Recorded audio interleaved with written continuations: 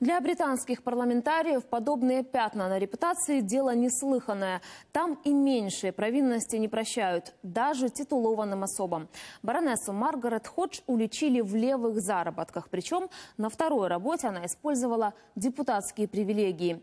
Чем поплатилась, знает Светлана Чернецкая, наш субкор в Лондоне.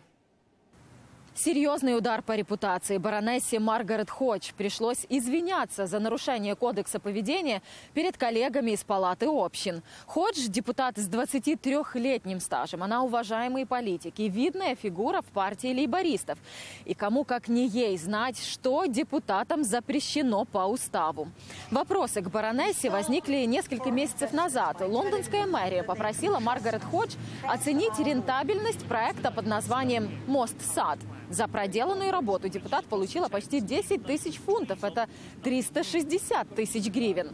Коллег Ходж возмутила, что зарабатывая на стороне, она пользовалась всеми привилегиями депутата. Не только тратила время не по назначению, но и пользовалась кабинетами парламента для проведения встреч по проекту моста. Электронные письма отправляла с рабочего компьютера, а документы печатала на бумаге, купленной за деньги налогоплательщиков, и подписывала их ручками, приобретенными за деньги из бюджета. Курьезность ситуации в том, что Маргарет Ходж – ярый борец за финансовую справедливость. Она пять лет проработала в комитете по публичным счетам парламента и жестче других критиковала за любые денежные махинации.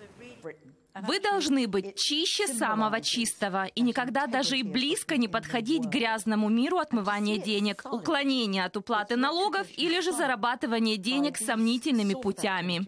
Парламентская комиссия по стандартам провела целое расследование деятельности депутата Ходж и доказала, что та нарушила кодекс поведения. Кроме извинений, баронессе пришлось вернуть деньги, использованные не по назначению. Она решила не подсчитывать стоимость аренды парламентских кабинетов кабинетов, а ограничиться суммой, потраченной на канцелярские товары.